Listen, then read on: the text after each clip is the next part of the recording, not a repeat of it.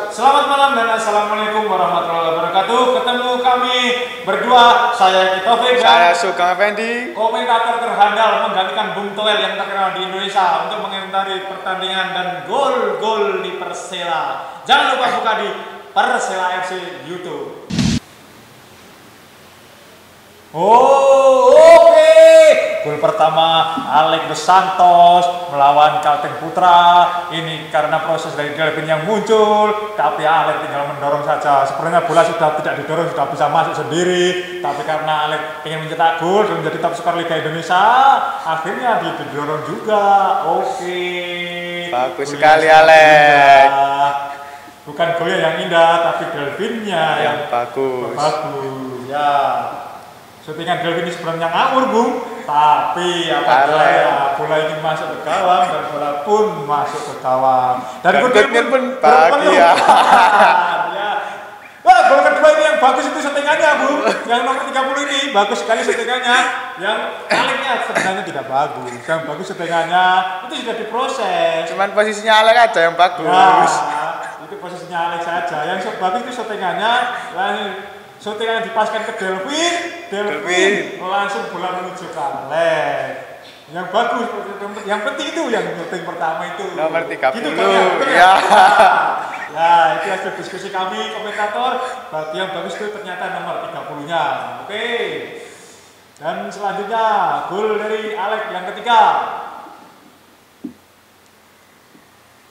Lagi-lagi dari umpan umpan 30. crossing, 30. Itu yang bagus itu. Yang umpan 30 laki-laki. tidak jadi gol. Peluang bagi Alex Dos Santos tapi tidak jadi gol. Itu yang bagus itu yang crossing, bukan kipernya yang jelek. Itu memang bola sulit sekali. Kamu tahu kan bola sulit sekali deh. Sulit. Ya. Muter badan. Ya, makanya kiper sulit sekali. Jadi tapi Alex waduh kurang tenang. Oke, selanjutnya, peluang selanjutnya. Ini Oh. ketiga. Ini yang bagus ke. Luar Ini biasa. Berperan sekali ke ini. Sebenarnya Ke ini melihat kalau kiper mau tendang jauh, tapi dia pura-pura nggak lihat. Jadi dia Kena, berpura-pura aja. kena badannya Ya. terus mental ke Alex. Nah, ya kan, tapi itu Ke nya itu. Ke Alex itu bagus. sengaja itu, cuma digituin sengaja. aja. Ya, nah kan. Loh Alex, ah Ya, diawur ya. namanya kalau push DJ itu ya rego gitu aja wis ya itu yang bagus tuh K Hiroshi. Bukan kipernya yang salah. Itu K yang bagus. Betul kan kan gitu. Gitu nah oke. Inilah preview tiga gol Alex melawan Kalteng Putra. Oke, mau komentari yang gol selanjutnya melawan Bali United.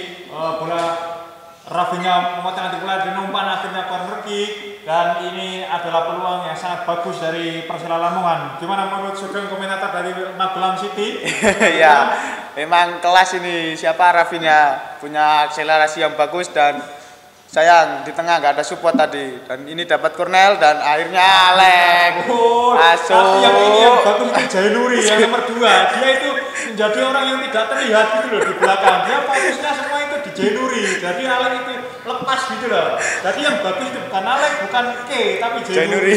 Ya, itu membuat fokus lawan itu terpecah gitu loh. Ya, karena dia itu kadang terlihat, kadang enggak gitu. Oke. Ini berperan Jainuri, berperan sekali Jainuri ini. Jainuri, lihat nomor dua pergerakannya nanti, Jun. ya kamu lihat. Ya. Itu mengecoh semua pemain itu lawan. Nah, lihat. fokus sama Januari semua ini lawan ini Nah, ya ya ya, ya. Jainuri, gitu loh. Jadi yang bagus pergerakannya Jainuri. Nah, ya kan? Ya, ya. Oke. Selanjutnya, gol yang kedua dari Alex Dos Santos lagi. Lawan Bali United, silakan komentator Sugeng dari Magelang City United. Oke. oh ini gol ke- kedua dari Alex Dos Santos ternyata umpan dari Delvin dan akhirnya oh kelas kelas Baru kelas ini. sekali Yang bagus ini Alex. Alex ini. Alex. di latihan nggak ada kayak gitu adanya di pertandingan Ya, doang ini bagus ini Alex Ya, bagus ini. Dan apresiasi buat Mas Dwi. Sujud Ah, syukur, sujud alhamdulillah. Ya, juga, ini juga mau menjadi Islam, Alex. Tapi nggak jadi. Mau sujud syukur tapi nggak jadi. Ya. Oke, selanjutnya mengomentari kita komentator andal dari Indonesia mengomentari pertandingan Persela melawan Bayangkara FC. Mengomentari gol dari Baginda Jainuri. Set. Maju satu langkah. Corner Si pohon asem. Iya. Jainuri. Oh,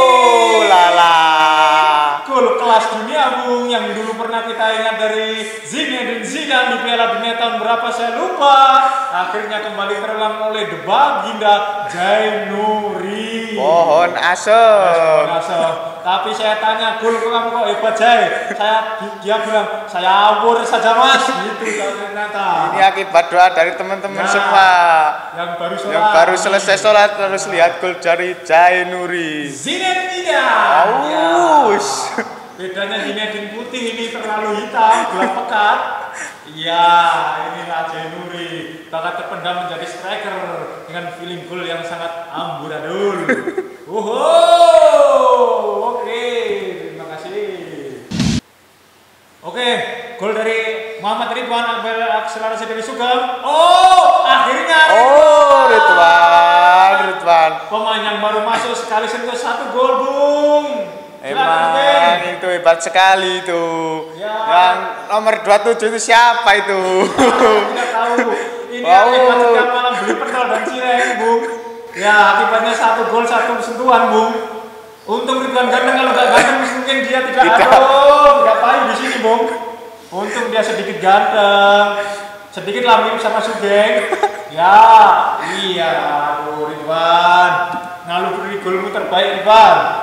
Ini mengomentari lagi peluang dari Eki Sragen. Taufik. Iya, untuk sekian kalinya menyeberang waktu pertahanan lawan.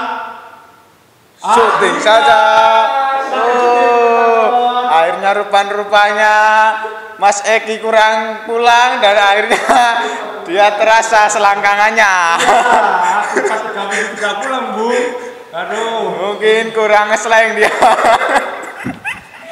mungkin saja bisa begitu. Komentator dari Sugeng Kota Magelang City. Aduh, Aduh, peluang sangat bagus. peluang sangat bagus sekali tuh. Tapi akhirnya kandas di bawah Mister Gawang akibat selangkangan yang meleset. Ya.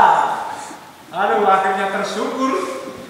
Oke, akhirnya kita ketemu dengan eh, pertandingan terakhir melawan Barito Putra. Kita akan mengomentari dari peluang dari Sugeng Effendi yang mendapat yang terjadi akibat counter attack dari tim Persela karena tim Persela hanya bermain 10 pemain. Oke, ini Barito Putra masih terus menyerang pertahanan dari ya counter Sugeng membawa bola, Sugeng masih membawa bola terus, Sugeng malah Sugeng Sugeng Sugeng. Sugeng Effendi masuk dia bu, Sugeng Effendi oman ke kandas dan masih dari Sugeng. Sugeng Effendi. Seharusnya Sugeng harus membawanya bola itu ke jeding dulu. Harusnya bolanya jagil-jagil, tidak tepat kenanya. Lapangan- Lapangan nyongkral nyongkral bung, lapangan jendel jendel. Akhirnya tendangan pun melaju jauh dari arah gawang. Oke Sugeng, terima kasih. Oke terima kasih telah menyaksikan channel YouTube-nya Persela FC yang telah menyaksikan kami komentator handal yang menggantikan Bung Toel dan Bung Broto. Jangan lupa saksikan terus channel YouTube Persela FC. Terima kasih. Assalamualaikum warahmatullahi wabarakatuh.